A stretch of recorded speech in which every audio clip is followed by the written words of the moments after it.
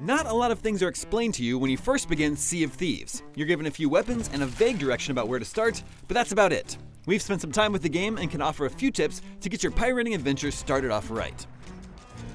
Occasionally, you'll be tasked either by a riddle or a voyage to walk a specified amount of steps in a direction to find buried treasure. While first person legs are non existent in the game, pulling out your trusty compass may help you out. Once you have it equipped, hold the right trigger to bring it up to your face and walk forward. The controller will vibrate with every step you take, making step counting a breeze. Cannons are very helpful in combat situations, but here are some pointers on how to maximize their effectiveness against opposing players or the Kraken.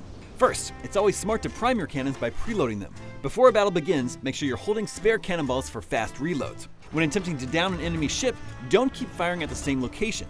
You want them running around searching for holes in the ship, so spread them out. Aim for the water line so when a hole is created, it instantly starts filling with water. And of course, cannons don't exist just to shoot cannonballs. If you walk to the side of a cannon and there is no cannonball in it, you can put yourself in there and shoot yourself to an island. Need to pull off a sharp turn? Start turning the wheel hard in the direction you desire, then drop the anchor to handbrake turn the boat in the same direction. It's a nice tactic if you're being pursued, but you'll still want to raise your anchor back up quickly or have your crew on standby to do the legwork. If you don't want to drop anchor, remember that raising your sails will also give you a tighter turn at the cost of reduced speed.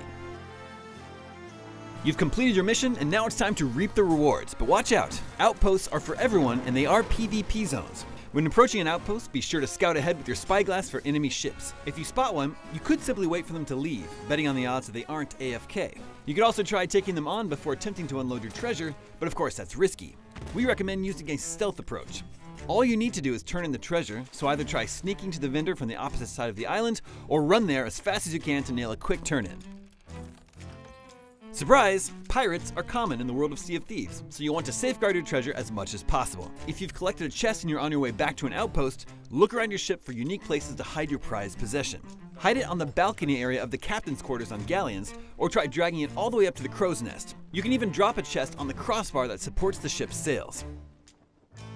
Your boat is sinking and there's no saving it. But what about the treasure? Thankfully, treasure chests will float to the surface where you'll get a chance to salvage them. This won't last long, so be quick. Keep this in mind for downed enemy ships, too. Sea of Thieves features four weapon types the pistol, the cutlass, the blunderbuss, and the long range sniper rifle. But did you know these weapons are all available from the start? When you begin the game, you'll have the pistol and the cutlass equipped. To change your loadout, just head to the armory box, located on your ship or in front of the weapons vendor, and use the shoulder buttons to move through the different weapons you can equip to your loadout. It's good to have the element of surprise, right? Make sure to shut off your ship's lanterns when the sun goes down. The moon offers plenty of light, so there is no need to light up like a Christmas tree for any treacherous foes to see. Lanterns give off a yellow glow and can easily be seen from a distance. Similarly, some high level rewards give off a bright glow, so be sure to transport these in your ship's hold at night. The ground combat in Sea of Thieves is fairly bare bones, but there is some strategy to utilize here. When taking on a group of skeletons, instead of just recklessly mashing your attack button, kite the skeletons around. Once you've got a good group of them, hold the right trigger and hit them with a devastating lunge. You can also use your lunge attack to travel through the water quickly.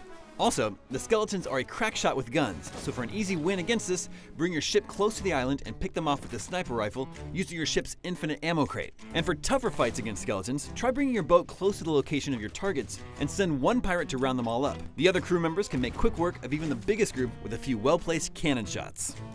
That's it for now, but if you've discovered any cool tips or tricks, make sure to let us know and check out our wiki page for even more help with the game. Also, check out our Sea of Thieves graphics comparison and the first 10 minutes of the game.